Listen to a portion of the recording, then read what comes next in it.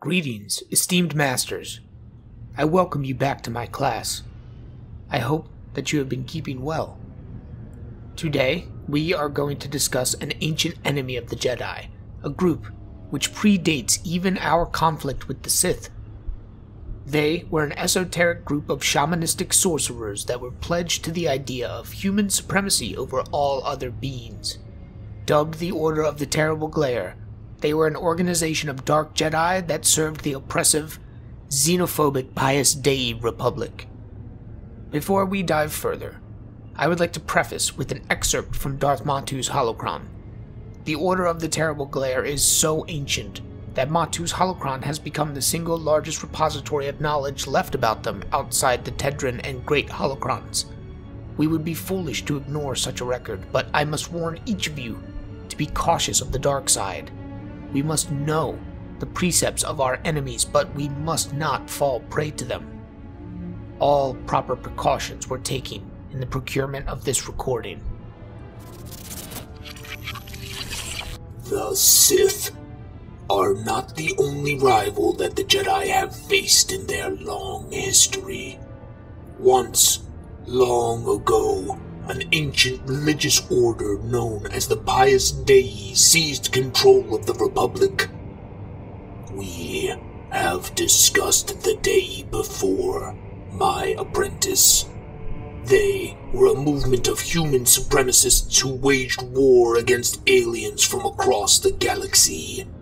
A splinter faction of the Jedi, enamored by the idea that human beings stood supreme over all, broke from the Order and joined with the Pius Dea, serving the Supreme Chancellor as sorcerers and seers.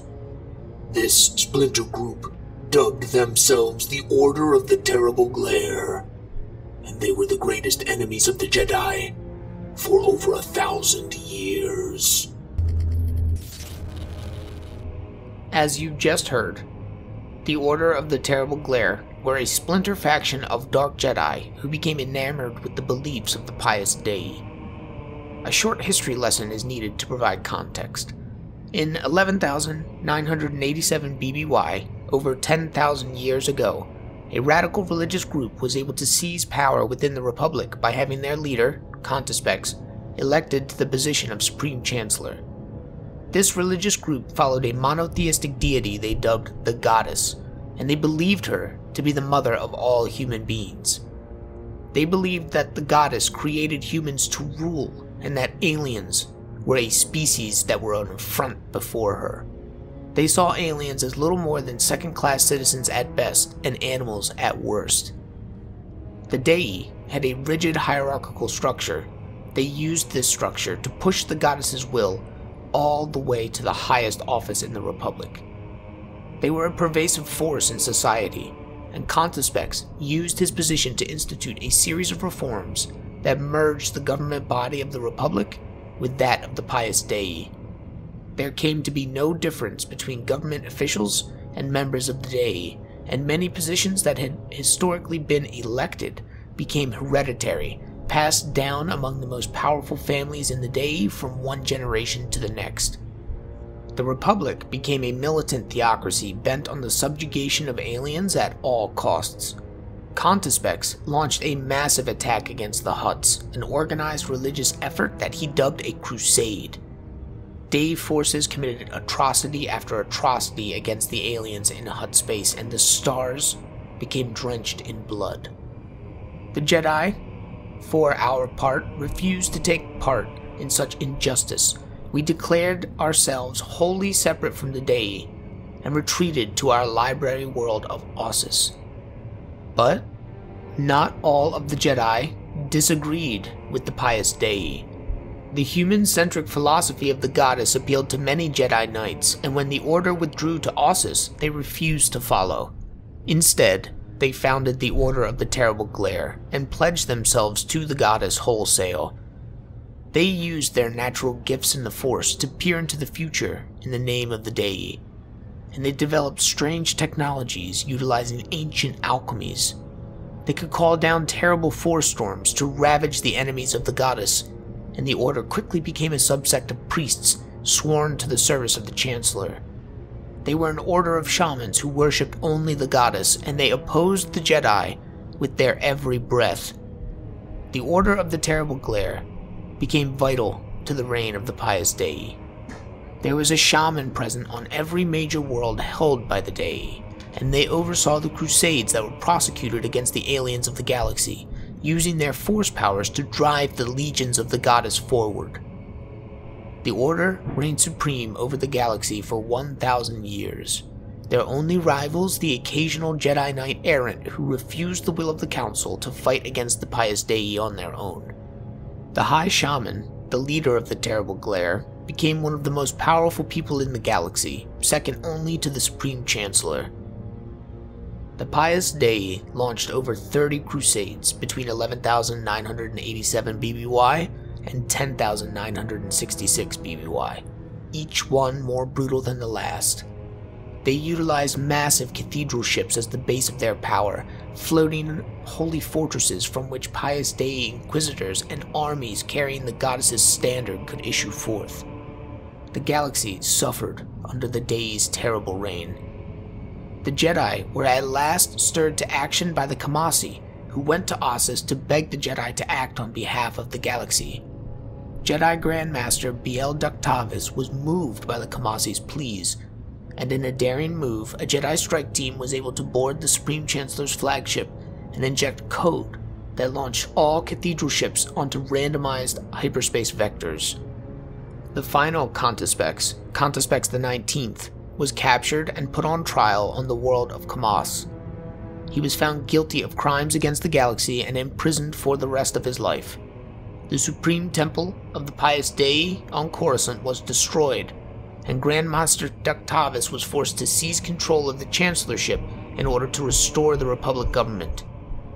The Jedi Imperium reigned for the next 1,000 years before eventually handing power back to the Senate. The Order of the Terrible Glare, however, persisted beyond the fall of the Dea. While they were integral to the structure of the Dea, the High Shaman had always been careful to keep the Order's hierarchy a separate entity. They were a special class within a special class, an elite group of mystics among fanatics. The Order had made their home on the outer rim world of Garn, a bleak, desolate place devoid of most forms of life. Garn was far from the bustling core and the center of Dea power, which meant the Order of the Terrible Glare was able to survive Contispex the 19th's fall. The Order swore a terrible revenge against the Jedi, and they worked to attack us in whatever way they could. Grandmaster Ductavis was forced to bring the Republic's resources to bear. He launched an invasion of Garn that devastated the barren world and destroyed the Order of the Terrible Glare utterly. Only the High Shaman was able to escape the destruction by uploading his consciousness to one of the Order's strange machines. This consciousness persisted for the next 10,000 years, luring erstwhile Jedi to Garn to be destroyed, ever seeking to fulfill the vengeance of the terrible glare. Rur was finally destroyed when he encountered a young Grandmaster Luke Skywalker, the founder of our iteration of the Jedi Order.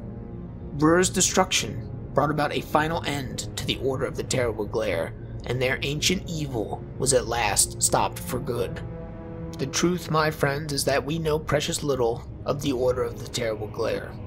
Even the story I have just told you has been put together out of fragments of ancient records preserved in the heart of the Jedi archives. The Terrible Glare were active so long ago that there is almost nothing left of them in the archaeological record. We know they were led by the High Shaman and utilized esoteric rituals, spells, and incantations to tap into their connection to the Force but the precise nature of their internal hierarchy and the exact execution of their forced tradition has been lost to us. Biel Ductavis was quite thorough in the terrible glare's destruction, and we have precious little to study. Most of the information you just heard was first acquired by Luke Skywalker in his encounter with Rur, and later expounded upon by the tireless efforts of archivist Tionne Solusar keeper of the great and Tedryn holocrons. The Order of the Terrible Glare were once Jedi Knights, and thus we know they maintained a similar view of the Force. However, unlike the Jedi, They were all too willing to embrace the dark side, and they were ever eager to delve into forbidden, eldritch teachings in the name of expanding their power and in the name of their goddess. They were more like sorcerers than knights, and they were famous across the Dea controlled republic as prophets capable of charting the course of the future. The Order of the Terrible Glare employed dark alchemy to create unique technological devices. The computer that held the consciousness of High Shaman Rur was developed by the Terrible Glare utilizing a crystal matrix that has never since been replicated. Rur himself lured Grandmaster Skywalker and others to Garn by using a machine that could detect lightsabers even from thousands of light years away. Such a feat, using the technology of over 10,000 years ago, is not to be scoffed at. It is clear that the shamans of the Terrible Glare were alchemists of extreme skill and power. But, perhaps, the most important lesson that the Order of the Terrible Glare has to impart to us is the ubiquitous nature of the dark side. It is not just the Sith who wield corrupt power, and we need ever be wary of our own inner beliefs and ideals. Even before the Sith Code existed, Jedi fell. The dark side is as pervasive as life itself, and there will always be temptations that threaten to lure us away from the light. There will always be an enemy of the Jedi because there will always be a dark side. There will always be champions of this darkness, just as we have always been champions of the light.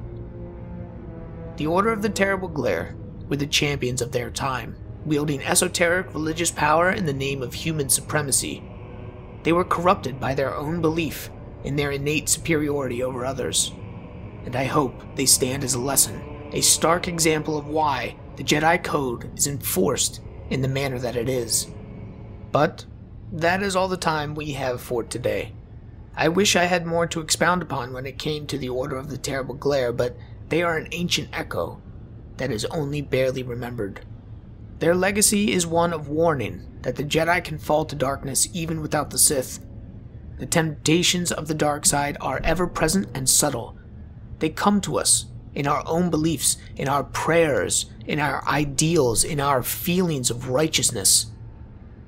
Such things can lead one astray as easily as emotions such as anger or fear. Meditate on this, my friends, and I encourage those who wish to know more to please examine the fragmentary records we do have preserved down in the archive. I am certain that the archivists would be pleased to assist you. Take care of yourselves, and until next time, may the Force be with you all.